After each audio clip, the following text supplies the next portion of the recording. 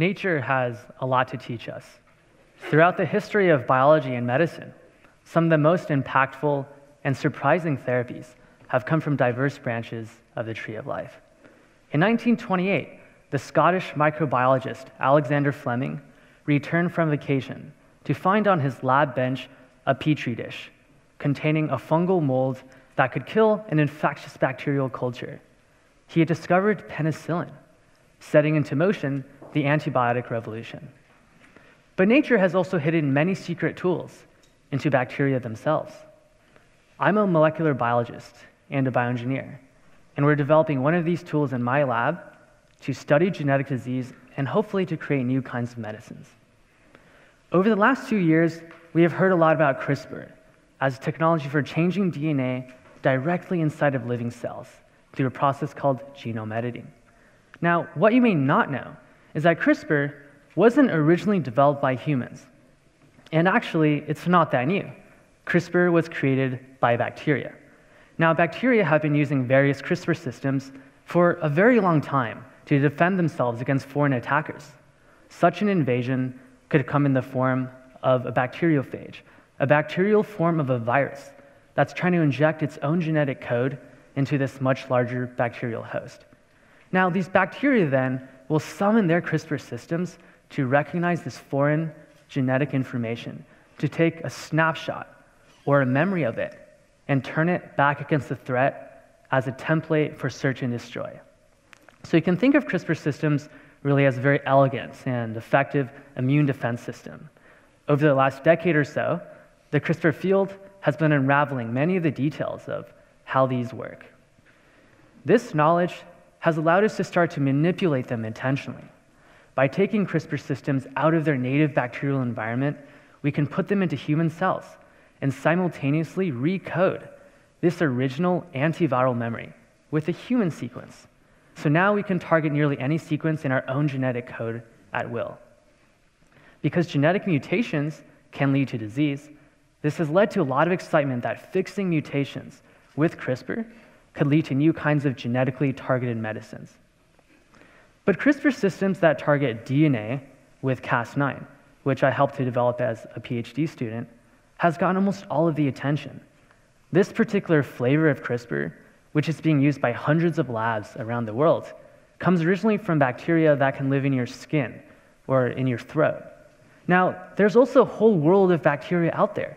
Some of them are found primarily in soil or in water or even inside of our own gut. And it turns out these bacteria have specialized due to their different environments and they've adapted their CRISPR systems as well. Some of these CRISPR systems don't target DNA, but rather a different kind of molecule. These CRISPR systems target RNA. Now, what is RNA? RNA is the dynamic counterpart to your relatively static DNA sequence. Your DNA genome, more or less, is the same in all the cells of your body and doesn't change throughout your lifetime. So you can think of your DNA genome like a dictionary or a phrasebook that contains all the words that can be used by your body's cells in order to compose RNA messages so that those cells can have an actual conversation. For example, this is how cells can respond to infections by turning on inflammatory signals. RNA can also help carry the instructions to turn a stem cell into a specific kind of cell, like a skin cell or a brain cell. And in this way, a whole organism or person, like you and me, can form. But on the other hand, RNA can also cause cells to weaken or die. RNA targeting CRISPR systems are generating a lot of excitement because there's a whole set of diseases where it's the RNA messages that go wrong inside of our cells. These disorders then might respond better to RNA based solutions. This discovery and development of RNA targeting CRISPR has come about really in just the last two years. Why? Well, it turns out there's been an explosion in genome sequence databases of a whole variety of organisms over just the last few years, largely due to the rapidly falling cost of DNA sequencing. This is helping some scientists, for example, to map out the diverse communities of bacteria that live in our gut called the microbiome, to understand how these niches are shaped by infections or diseases like Crohn's or irritable bowel syndrome.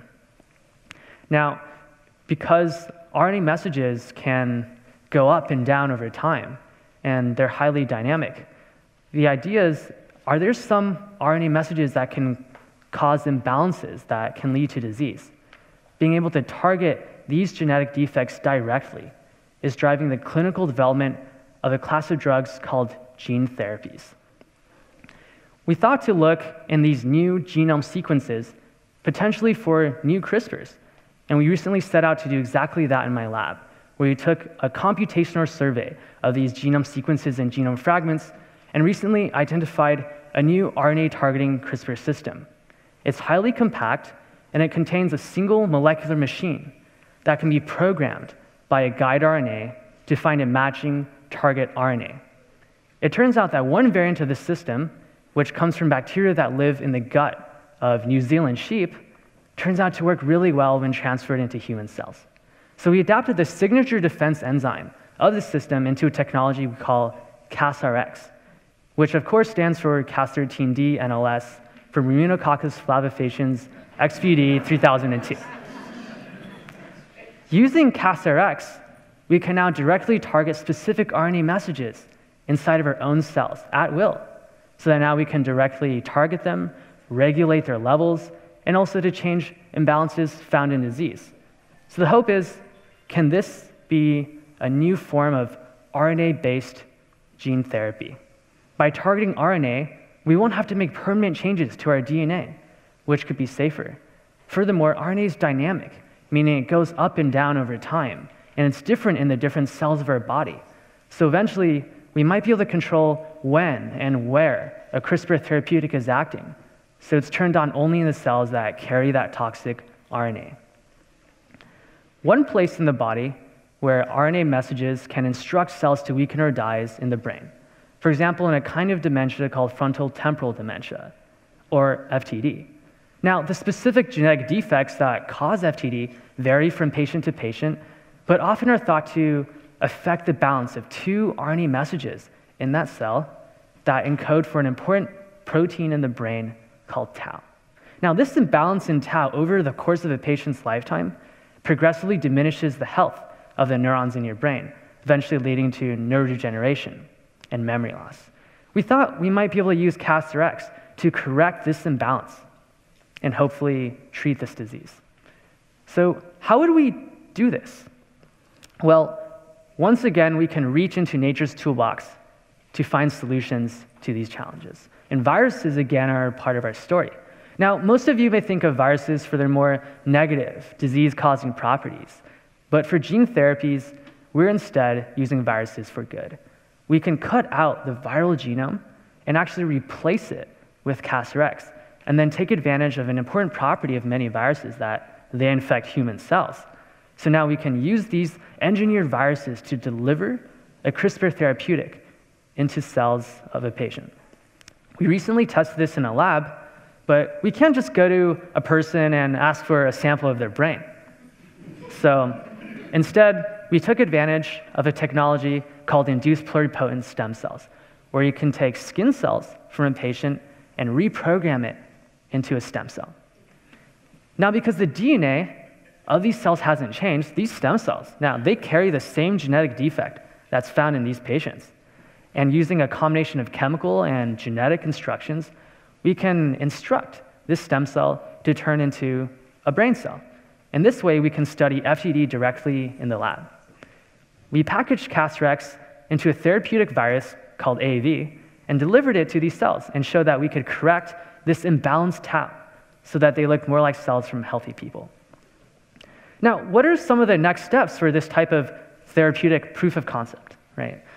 First, we want to move into animal models of the disease. This will allow us to look at things you can't tell just by looking at the cells. For example, if you take cell, animals that have the same genetic defect found in FTD, we can dose them with a CasRX virus and look, put them through a battery of memory tests, or look at the progression or maybe reversal of pathology in the brain. This would also help us understand the amount of virus that would be safe and effective, and hopefully inform the dosage that might be used in initial human clinical trials. CRISPR technologies are opening up a whole world of possibilities for manipulating our own genetic information. and also providing new avenues for combating debilitating RNA based diseases, such as by removing toxic RNAs from our brain or defending against RNA based viruses like influenza, Zika, Ebola, and the like. Furthermore, because changes to RNA are temporary, quite different from the permanent changes caused by targeting DNA, we'll eventually be able to create more advanced gene therapies where we can control the timing of the drug. But there's still so much to do.